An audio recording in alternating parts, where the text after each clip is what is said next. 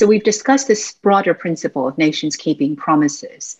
But what about making them in the first place? Was it wrong to encourage Ukraine to sign the Budapest Memorandum? No, I don't think at the time it was it was wrong. Uh, this was a time when the USSR uh, had, had just co- uh, had collapsed a few years earlier, and it was quite important to prevent uh, the proliferation of nuclear states, uh, to uphold the NPT regime, uh, and to find new ways of enhancing security. And I think it's very important to understand the context within which this agreement was taken. This was a time when Russia, Ukraine, and the West were all seen as sort of democratic partners they all were led by democratic systems. You know, been perfect, of course, uh, but uh, there was very much the perception that, um, you know, with the end of the Cold War, Russia would become uh, sort of a true member of the Western community of nations. And that was also what the Russian leadership was saying. We must remember very clearly how uh, President Yeltsin and Foreign Minister Kozyrev, they very clearly talked about Russia becoming a member of the civilized club of nations in the West. Uh, and I think it would be very risky to think uh, that, uh, for example, Ukraine with nuclear weapons would have been more stable. Maybe it would have prevented an, an operation by, um, by Russia in, in, in Ukraine. But, you know, what, what if we think that Russia would have operated uh, regardless? So, you know, uh, I think that it, it's very, very risky. I think the problem with the, uh, with the memorandum was that it, it, you know, as guarantors, it doesn't create the kind of commitment that we have, for example, within NATO with Article 5. So it gives them the it gives guarantors the right to intervene, but not this sort of compelling necessity to intervene. Uh, and I think that's part of the problem. And as was mentioned by Professor Nye, I mean, the violator of the agreement was actually uh, Russia, not uh, the Western uh, European nations that were the guarantors. Yasmin, let me come to you. Um, Domitilla just mentioned, um, in terms of the way that the memorandum was set up, um, it was always um, vague. Without any specific promises, this kind of agreement, was it always going to suffer this fate? If so, then was it wrong to encourage Ukraine to sign it? Well, I know that a lot of Ukrainians think it is. I've been talking to some of the people I know, and they said, no, you know, we, a lot of us think it was a mistake. Um, and I think this mindset that Russia is the aggressor and Russia is the aggressor at the moment, Russia and China are the through, you know, are truly building up to, to a kind of power status that should worry us all. Uh, you know, across Africa, the Chinese presence is, is unavoidable from street to street and it is a kind of silent colonialism based on economic power. So all of that is worrying, but at the same time, um, you know, I, for example, you know, there was always this assumption, wasn't there, that um, the U.S., for example, would always have a stable leader, a president would who knew what the dangers were of pressing the button.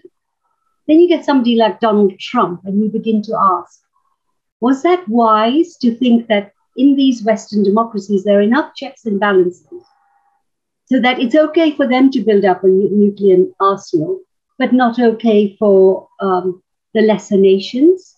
I mean, these are the big questions that are now being asked. And I think social media, for all its ills, has become a real platform for asking some of the questions that previous generations didn't ask.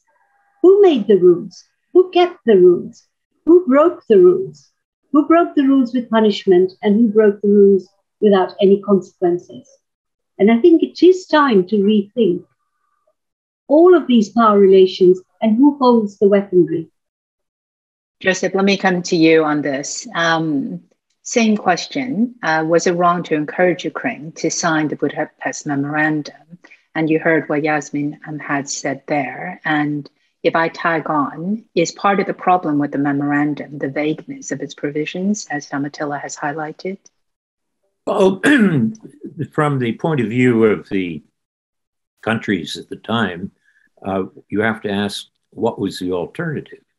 If you say, well, Ukraine could have kept it, these nuclear weapons, which were basically uh, the old Soviet nuclear weapons, there are many technologists who say they couldn't have maintained them a and B, uh, they were so dependent on uh, supply train chains and expertise from Moscow that the Russians might have taken them physically anyway. So, was it a big mistake by the Ukrainians, as some Ukrainians are arguing today? Um, I don't think so. If we do this counterfactual and ask what might have happened if they refused to sign it, I'm not sure it's wrong. The, the more intriguing question to me in the counterfactual is if uh, Ukraine had not signed the Non-Proliferation Treaty and had developed its own smaller, more usable nuclear weapons, would it be capable of deterring uh, Russia? And uh, maybe, but maybe not. You have to ask: Are there ever ever cases you can think of where a uh, non-nuclear power has attacked a nuclear power? And that happened when Argentina attacked Britain in the Falkland Islands. So I don't know. I think the maybe the problem was Ukraine believing too much in the uh, Budapest Agreement. Um, but uh, was the Budapest Agreement itself a bad idea, vague as it was? Uh, I think if you look at the counterfactual, I suppose I suggested, I don't think so. Tariq, let me come to you on exactly the same question. Was it a mistake? Was it was it wrong to encourage Ukraine to sign a uh, a vaguish um, Budapest memorandum? I agree uh, very strongly with Joseph Nye on this, actually. No, I don't think it was wrong. I think the breakup of the Soviet Union uh, led to all sorts of things. But on the nuclear question, these were very dangerous things. I mean, there were some Soviet generals selling nuclear missiles uh, to third parties. Uh, and the general view, I think, of any rational uh, state was to cut their numbers down. I mean, it, it happened in the Ukraine rightly. So, I mean, there's no way the uh, military of the former Soviet Union would have left nuclear weapons or stray nuclear missiles in Ukrainian hands or Kazakhstan hands. They did the same thing in Kazakhstan, which is not usually uh, discussed. The West flattered uh, Gaddafi in Libya to giving up his nuclear weapons. Of course, that example is not good because they then attacked him and totally wrecked and destroyed that country. But in any case, I'm not in favor of every single state getting nuclear weapons. The example, though, should come from some of the European powers. I mean, Britain is barely a nuclear power. It can't do anything militarily without the agreement of the United States. France is. Germany isn't. Japan isn't. There's a big queue of countries waiting to become nuclear powers. And if small countries acquire these weapons through fair means or foul, then the argument for a massive increase in nuclear states becomes uh, becomes irresistible. But one more thing, if you, you permit me, uh, I know the current mood uh, or propaganda uh, uh, in the West is to blame the Russians for everything. I think a big mistake was made by the Russians, by uh, Gorbachev, in not having a signed treaty prior to the unification of Germany, which settled some issues, including the neutrality of the Ukraine. I mean, the Ukraine said it would be neutral between the West and Russia. That was in its constitution till 2019. Uh, uh, why was this, uh, this clause then removed from the Constitution? I think there was a big, big pressure on them. And the other thing about the Ukraine that you have to remember is it's not unified.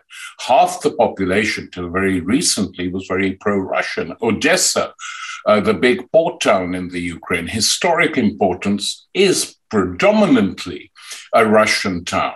So it's a mixed business in the Ukraine. It isn't just black and white, the population itself is divided. And thirdly, when uh, the Russians were meant to be our friends before they argued for and got their own sovereignty and did as they pleased, basically mimicking the United States, um, there was a huge crime committed by Putin and Yeltsin before him. And that was the assault on Chechnya. The Chechens asked if X, Y, Z, A, B, C, all these little parts of the former Soviet Union can be independent, why not us? We're bigger than the Baltic states in some cases. What's the problem? And a huge war was unleashed, supported by Tony Blair and Bush. I mean, they actually praised uh, the Russians and Putin for doing it at a time when Grozny, the capital of Chechnya, was being razed to the ground. So please, let's not have this crap about international communities and morality and freedom and democracy. What is basically the West thought their interests lay with Gorbachev, Yeltsin, and early Putin's Russia.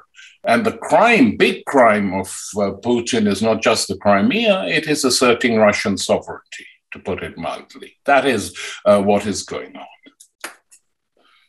A final word to you on this one, uh, Domitilla. Would it have made any difference if the Budapest Memorandum was more formal and less vague and included the sort of Article 5 NATO um, assurances? I think that it would. I mean, the question of Ukraine's security orientation and protection is very, is, really very complex, and it really lies at the crux of European security at the moment. So I think that even if at the time there would have been discussions of, of further security guarantees by the West, they would have raised similar questions because at the time when this was signed, the fate of Crimea was also sort of a bit discussed, uh, and there were challenges there from Russia, which uh, at the time didn't materialize. Uh, but Russia was still negotiating with uh, Ukraine the fate of the Black Sea Fleet, uh, which is based at Sevastopol. So it would have been really not the right moment to uh, move further uh, in terms of guarantees. But what is often forgotten is there is an additional treaty that was signed in 1998 between uh, the presidents of Russia and Ukraine, whereby they divided the Black Sea Fleet.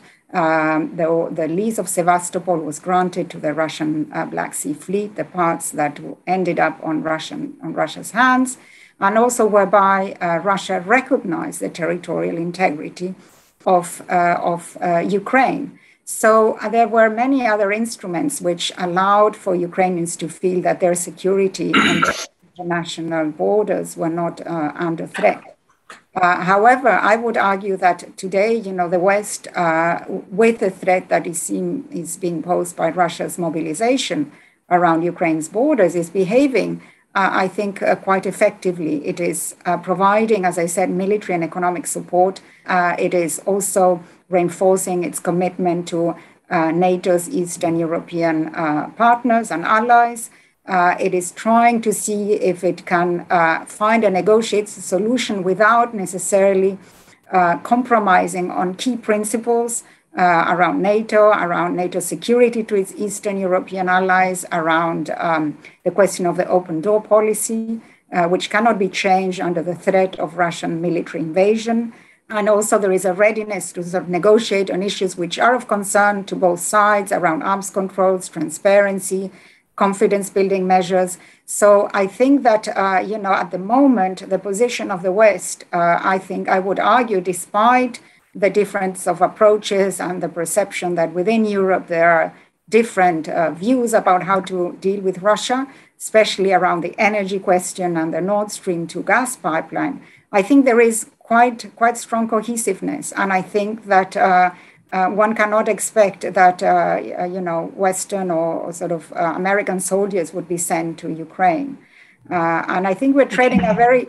I think, sorry, Domitilla, you've you've moved us into the third theme, which I probably should just introduce properly, and then um, and then and let's develop this. But just to wrap up where we were on the second theme, I think a lot of the um, the panel uh, raised a range of issues around um, what the circumstances were at the time. And I think, as um, as we've just heard from uh, Domitilla, there were other subsequent agreements um, as well. So it is, um, as always, uh, the counterfactual posed by Joseph Nye gives us a sense as well as to um, what uh, the context um, is. And I think Tariq and Yasmin raised very good points um, around um, all of these issues, which actually brings us to the current day.